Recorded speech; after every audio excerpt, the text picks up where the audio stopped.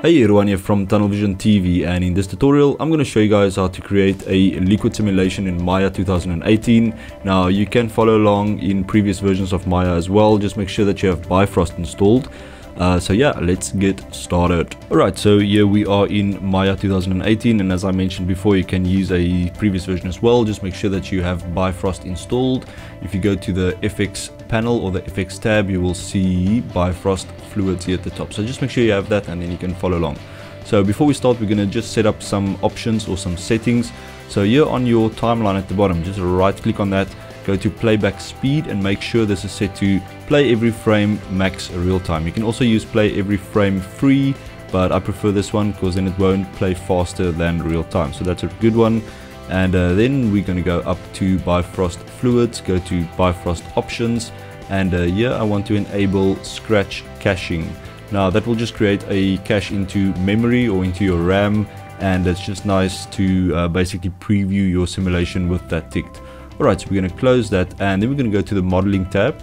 So just here at the top, set it to modeling and this is where we're going to create our container and also our geometry that's going to be the emitter for the fluid simulation. So I'm going to go to poly modeling and then I'm going to create a box, something like that. And then I'm going to scale it up by using R.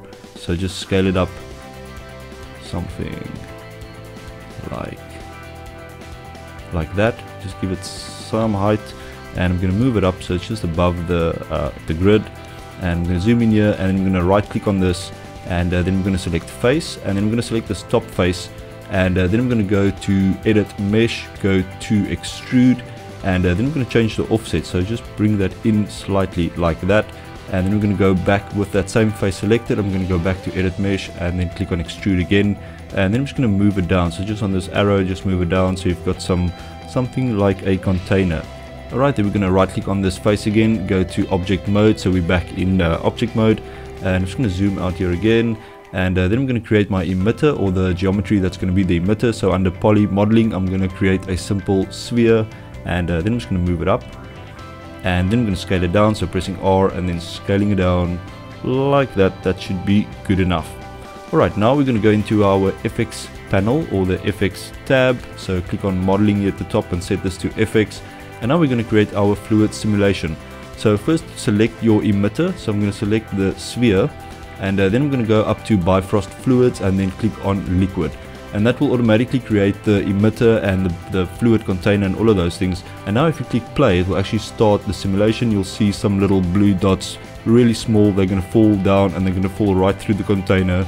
So that's not really what we want. So we're going to stop that and then go back to the first frame. Alright, so with your Bifrost Liquid 1 selected, we're going to change the point size to 3 and this is just so we can see the fluid better. So if you play this back now, you'll see that those little dots are slightly bigger, just easier to see them. It won't change anything with your simulation or anything to do with your simulation, it's just the way it's displayed in the viewport. Alright, so we're going to go back to the first frame and then we're going to click on the emitter, the Bifrost emitter props 1 and we're going to set the continuous emission. Alright, and what this will do is if you play it back now, you'll see it will emit continuously from that geometry.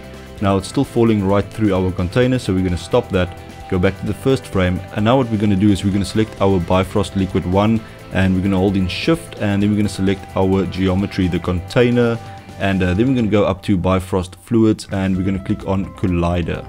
Alright, so this is going to tell the Bifrost uh, simulation that this container will actually be a collider and uh, if we play this back now you will see the liquid will start falling from our emitter and it's actually gonna interact with our uh, container which is pretty cool. You can't really see it here because the resolution is very low of the simulation. So I'm gonna stop that.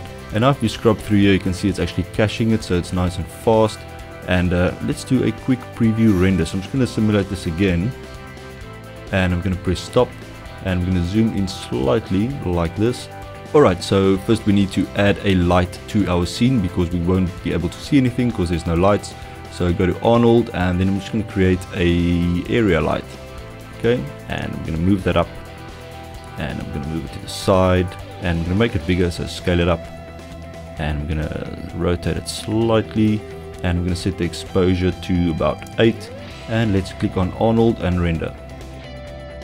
Alright, you can see we've got something here that looks like liquid. Obviously, it's really low resolution, so I'm going to close that down. And uh, then I'm to just increase the resolution of our simulation. So really easy to do. We're to go to the Bifrost Liquid Properties 1, and then you'll see your master voxel size under resolution. Now the smaller this number, the better the resolution. It's actually the size of those voxels or those uh, particles. So I'm to set this to 0.2, press enter, and then go back to the first frame, click on play to restart the simulation. And you can see it's a lot more dense, it's looking good, and it's going to interact with our container now. There we go. And then we're going to press stop, you can press escape on the keyboard. And uh, let's zoom in here and see how this looks like. Alright, so I'm going to click on Arnold and then render. There we go, you can see it's much smoother and it's a little bit more realistic still low resolution but it's it's looking nice and I'm going to show you guys quickly how to change the material of this liquid let's say you want a different color really easy to do with uh, the new version of Maya. So you can just open your Hypershade and you will see there is a new AI standard. I'm just going to click on that and it's going to bring it up in this render viewport. And uh, you can also rename this just to make it a bit easier. I'm going to call this liquid. And a really easy way to change the color is if you go down here and you go to coat.